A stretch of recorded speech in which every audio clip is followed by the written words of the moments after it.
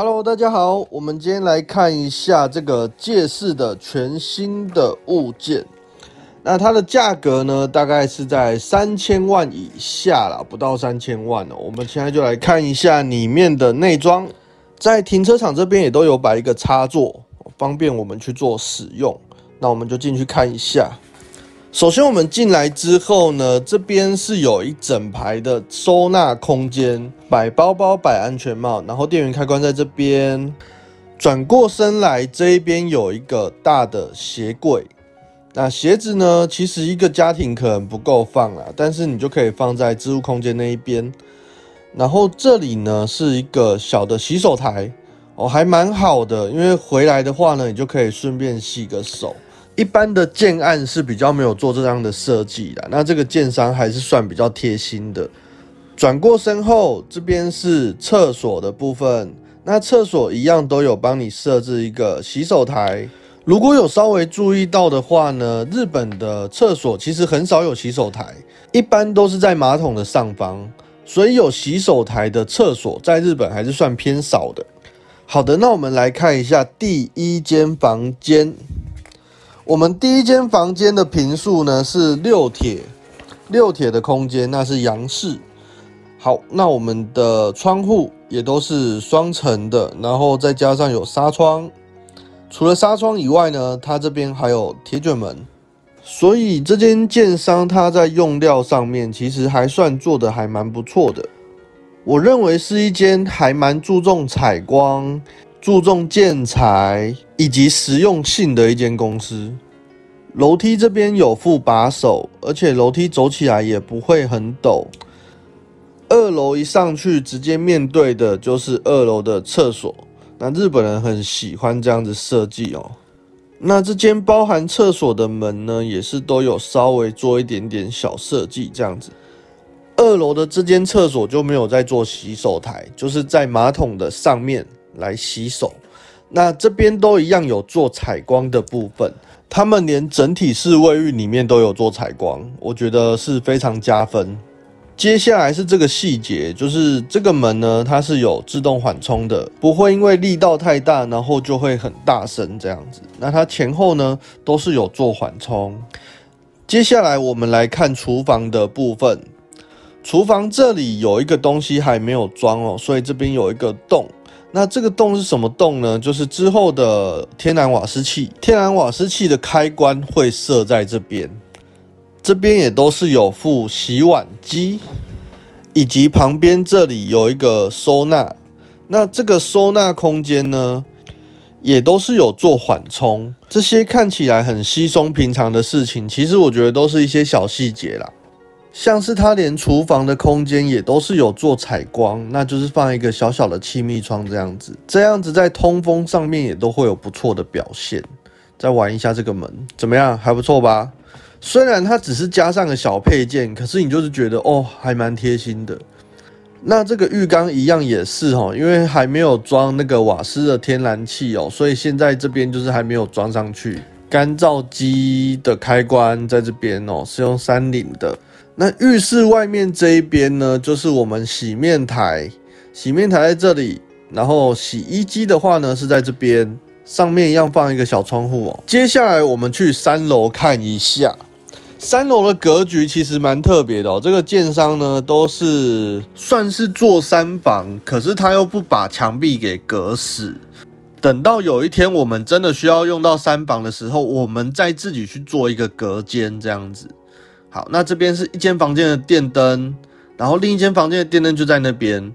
那这边呢，我们是有两个门的，中间其实是可以有一道墙壁这样子。那这两间房间它一样也都是有做采光，两间合在一起是九铁的空间。那有一间是四铁，一间是五铁。如果隔起来的话，那我们现在再到我们这个主卧室。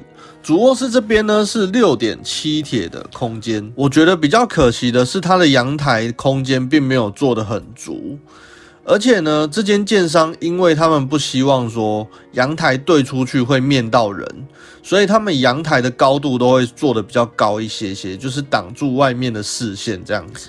但是阳台的外墙做的这么高，我反而觉得有点小压抑，而且没有附晒衣杆的挂钩。OK，最后再来跟大家说一下这个物件的相关资讯吧。其实这个物件呢，离小学、中学都非常的近哦。那离超市呢，其实也都很近。但是它有个缺点，就是它离车站其实是有距离的。它离南海的高野县的界东车站是走路十五分钟的距离。价格是两千八百一十万日币，全新的物件。好，我们接下来来看下一个房子。这个房子一样呢，也是同一个公务店做的哦，叫做丁田公务店哦。玄关进来之后，一样是一个比较大的收纳空间。那这边哇，都非常的大，这个空间真的是算蛮大的。看过来之后呢，这边是洗手台，然后还有鞋柜。那鞋柜呢也是一样哦，我觉得并没有说弄得特别大，但是它的收纳那边你就可以摆鞋子了。所以也是算还不错。那不得不说啊，再三强调，我觉得他们真的也是太注重采光了，连玄关这里都要摆一个采光。好，玄关走进来之后呢，第一间就是厕所。来，我们进来看一下这间厕所。打开，OK，这里又是一个洗手台啦。哦，那他们一楼呢，就是都是有做洗手台的厕所，马桶他们都是用 TOTO 的免治马桶。千万不要认为说 TOTO 是日本的，所以在日本看到 TOTO 马桶是很正常的。其实你一般的家庭呐，当然也是可以特地去买 TOTO 的啦。但是其实立柱我还是觉得比较多的哦，在价格上面其实还是有差啦。那他们设计的这个灯，其实我是还蛮喜欢的，觉得蛮有质感的。厕所旁边，也就是玄关这里，它有做一个收纳空间。这个收纳的话，如果是我，我应该是把它拿来放什么扫把啊。哦，拖把，然后吸尘器啊，等等的那种那种杂物就会放在这边呢。这个鞋柜我们也打开来看一下。哦，真的是不大哦，再次证明真的是不大。但是光有旁边的那个收纳空间，我觉得就很就很厉害了。好，那我们来进来看一下这个客厅加厨房。日本一般都是这种开放式的厨房空间呐，所以这个空间总共是十四点四铁这么大。那这边哦，灯光以及加上这个采光落地窗在这边，哦，落地窗对出去直接就是对我们的车库了。那车库呢旁边一样都是有装那个插座，只是说它上面哦没有电灯，没有电灯，所以晚上的话呢。该怎么办？其实也不会怎么办啊，因为其实你那个客厅的光线一定是照得过来的，对，只是说会没有那么亮啊。那这一间一样呢，也都是有纱窗，然后跟这个铁卷门，好，铁卷门在这边，好，然后还有纱窗这样子。那这边的玻璃呢，也都是中空玻璃、双层玻璃这样子。二楼的部分有一些玻璃它是做死的哦，就是没有办法去打开。那这边楼下的话，基本上全部都是可以做。哦，活动式的哦，可以开。这个房子包括上一个房子也是，都是有设一个天然气的孔。